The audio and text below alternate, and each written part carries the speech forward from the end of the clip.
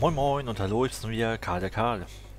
Ich habe hier mal von einem recht unerfahrenen Spieler ein Hummel-Replay gekriegt, was von der Sache her für 3000 Gefechte, die er vielleicht gerade mal hat, auch echt gut ist. Und er macht an sich viele Sachen richtig, hat aber noch so ganz typische Anfängerfehler drin.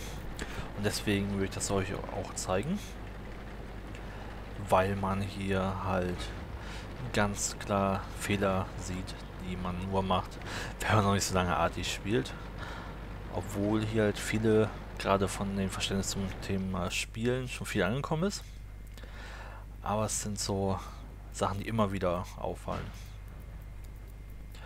Wir haben ja auch nur eine gegnerische Hummel.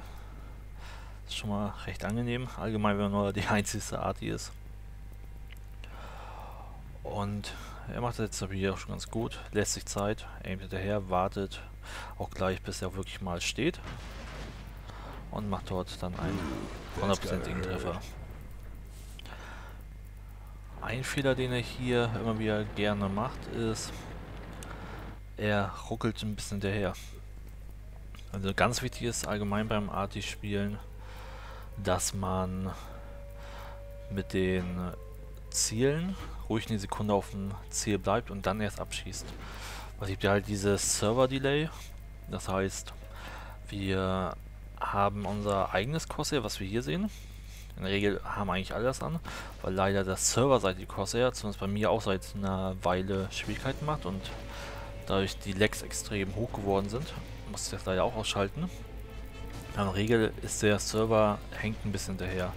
Und das umgeht man damit, dass man eine Sekunde einfach mal den noch drauf lässt. Aber hier macht er schon mal so weiter als richtig, obwohl viele Ziele aufgedeckt, bleibt er erstmal auf den Cap-Kreis, weil da ja schon drei Spieler drin stehen. Und nimmt damit auch den ersten raus. Und hat damit den Cap schon mal zurückgesetzt. Also das ist schon mal das, was er recht gut macht. Jetzt seht ihr ja unten links die Anzeige. Schweige, ich habe hier anderes Crosshair, was auch noch ein bisschen besser zeigt mit dem Waffenrichtbereich. Das ist auch ein Anfängerfehler, den er hier macht. Er bewegt den Körper nicht. Er kann jetzt ganz normal mit A, D und W auch in dieser Optik fahren. Das heißt, er müsste jetzt eigentlich A drücken, dass sich die Wanne ein bisschen nach links dreht, oder weil er jetzt hier nach unten zeigt, würde sich dann dadurch rechts drehen, dass der Waffenrichtbereich ziemlich mittig zum Cap-Kreis ist. Weil wir es noch immer wieder sehen, dass sein Fadenkreuz immer wieder aufspringt, weil er am Rande ist. Oder dass er Ziele beschießen will, die er gerade so überhaupt noch aimen kann. Das sollte nicht sein, dafür sollte man gerade nach dem Schuss die Phasen ausnutzen. Das heißt, wenn er gleich geschossen hat, hat er erstmal, ich glaube, 15 Sekunden Nachladezeit. Da kann er in den ersten 3-4 Sekunden fahren, wie er will und dann wieder aufs Ziel gehen, ohne dass er irgendeinen Verlust von Aimzeit hat. Aber das macht er hier leider nicht. Und was hier sehr zum Vorteil finde, ist, das sind halt die anderen auch sehr unerfahrene Spieler. Wie die, der Leopard hat wahrscheinlich mit am meisten Cap-Punkte, hat man gerade gesehen, hat fast die Hälfte der Punkte gehabt. Fährt aber vor, lässt eine knallen und setzt sich wieder zurück. Genau wie der E8. Fällt auch mal wieder vor und will schießen. Und wird dadurch aber zurückgesetzt. Also die hätten das eigentlich schon längst wahrscheinlich gewonnen gehabt, wenn die hinter den Häusern geblieben wären. Ah, naja. Das ist immer so. Haben es halt doch noch nicht gewonnen. Geschweige, wer weiß, wie es noch ausgeht, das verrate ich natürlich jetzt noch nicht. Also wichtig ist halt, er als einzige Arti bleibt halt die ganze Zeit auf den Cap-Kreis drauf. Und das ist halt völlig richtig. Weil sobald er die Möglichkeit hat, besetzt er auch die Leute. Da ja sonst ähm, auch die einzelnen Panzer, die hier immer so amokmäßig reinfahren, das auch nicht schaffen würden.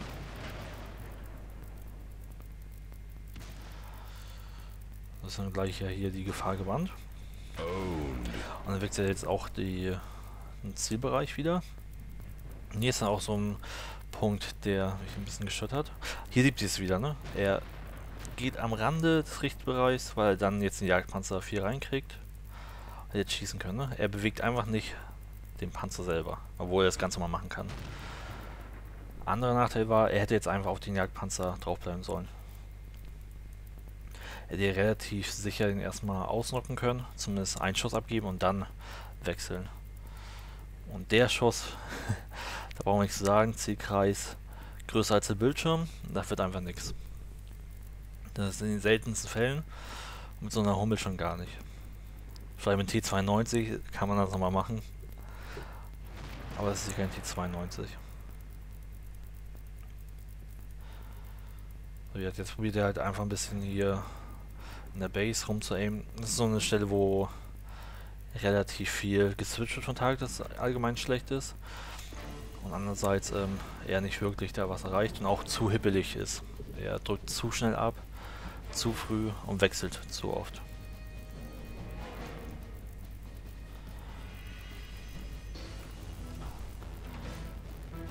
So tauscht natürlich jetzt mal der Jagdpanzer auftaucht, aber der ist recht gut getan, der wird ja auch nicht mehr auftauchen.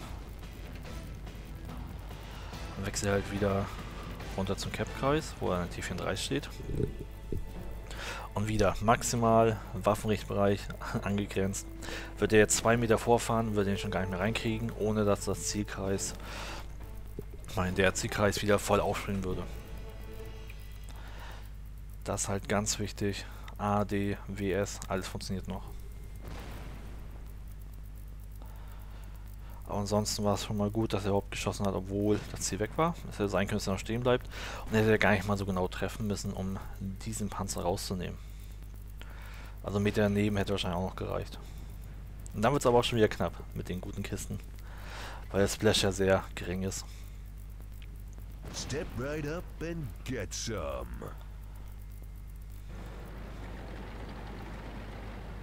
Jetzt verlade er ein bisschen um. Grundsätzlich nicht verkehrt, weil er weiß oder sich denken kann, dass sie vielleicht unten rumkommen.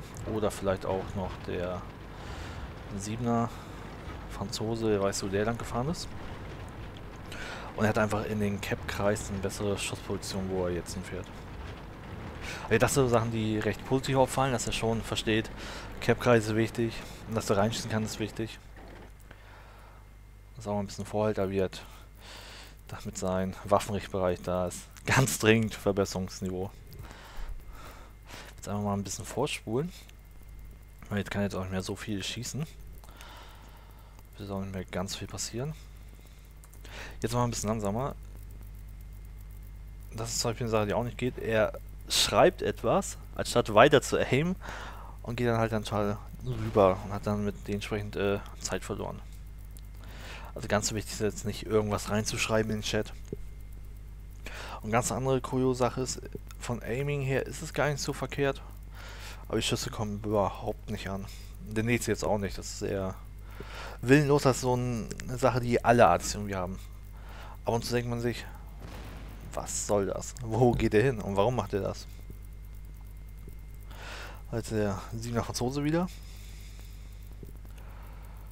Und jetzt kommt noch eine ganz lustige Sache. Der Churchill hat so ein bisschen Probleme. Geht anscheinend so die Munition aus. War wahrscheinlich noch ein AP-Schuss, würde ich sagen. Ich habe den auch selber. So viel macht er ungefähr mit AP. Er hat einen ganz sauren Schuss die Hummel hingesetzt. Hat wahrscheinlich leicht die Kette beschädigt, ist aber egal. Er hat ja kein HP verloren. Und jetzt müsst ihr auch achten, ne? Das Blaue Schaden, den er sich selber macht. Ich weiß nicht, ich schätze, ist HE, aber ich verstehe es einfach nicht. Er drückt sich da irgendwie selber weg. Und ist auch desertiert.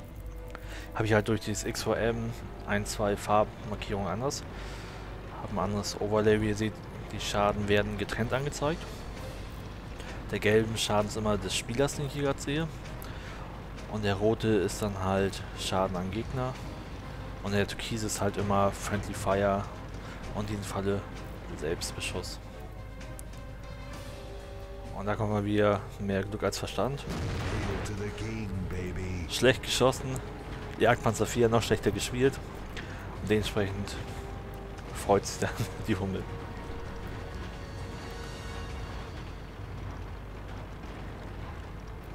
Gleich kommt noch so ein schönes Ding.